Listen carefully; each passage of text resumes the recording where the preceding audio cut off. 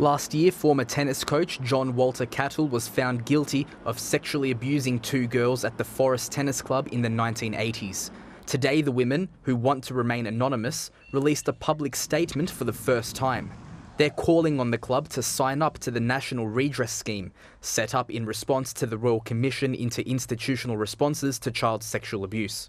Forrest Tennis Club, despite knowing that crimes were committed on their premises more than 30 years ago, and despite a criminal conviction of their contracted coach, has failed to demonstrate any accountability or responsibility.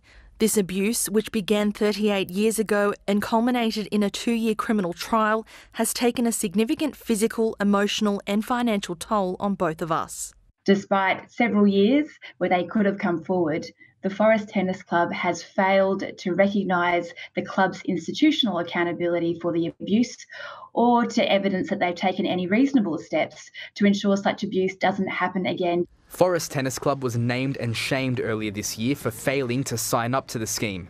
At the time, Federal Minister Anne Ruston said the club would no longer be eligible to apply for Commonwealth grant funding and is at risk of losing its charitable status. The ACT Victims of Crime Commissioner wants the club to publicly acknowledge the abuse. This hasn't been acknowledged either publicly or even privately to the victim survivors, uh, despite um, the clear outcome of a two year trial.